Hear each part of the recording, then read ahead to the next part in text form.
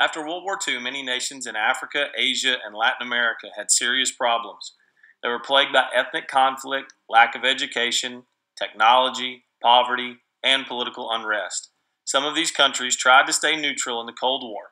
Others actively sought American or Soviet aid.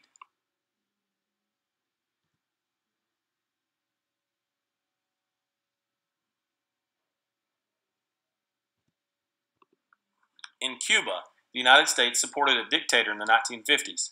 In 1959, a young lawyer named Fidel Castro led a successful revolt. Castro then turned to the Soviets for aid. In 1962, the Soviets and the Americans almost went to war over Soviet nuclear missiles placed in Cuba. The Soviets finally pulled the missiles out. Over time, the Cuban economy became more and more dependent on Soviet aid.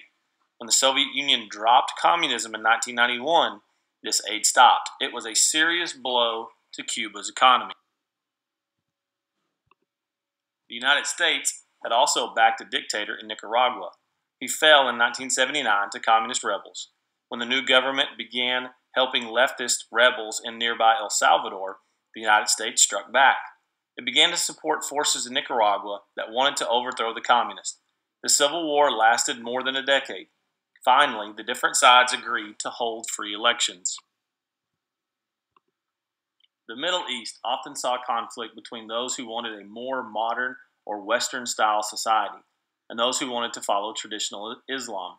Such a struggle took place in Iran. In the 1950s, a group tried to take control over the government from the Shah, or ruler, who was pro West. The United States helped the Shah defeat them. Over time, the Shah tried to weaken the influence of the Islamic religion in Iran. A Muslim leader named Ayatollah Khomeini led a successful revolt. In 1979, the Shah was forced to leave the country. Khomeini made Islamic law the law of the land and followed a foreign policy that was strongly against the United States. He also led his country to a long war with Iraq, its neighbor. The Soviets gained influence in Afghanistan after 1950. In the 1970s, Islamic rebels threatened the country's communist government. The Soviets sent in support troops. The United States felt its Middle East oil supplies were in danger and supported the rebels. In 1989, after a costly occupation, Soviet troops left Afghanistan.